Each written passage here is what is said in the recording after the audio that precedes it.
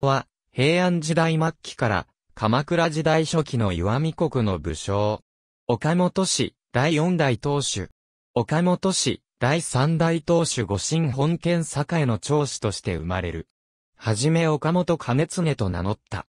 自称、樹営の乱において、周辺では、平家よりないし様子見の豪族が多い中で、岩見国で唯一源、頼朝の呼びかけに応えて、父県栄と共に、一の谷の戦いに参加。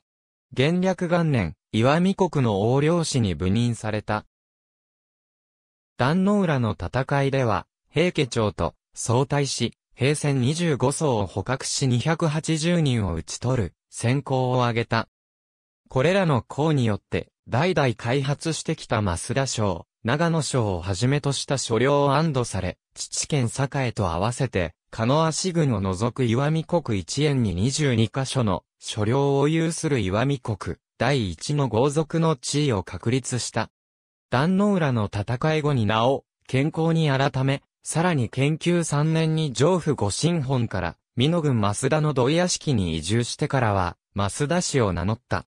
翌研究4年に、七尾城の築城に着手している。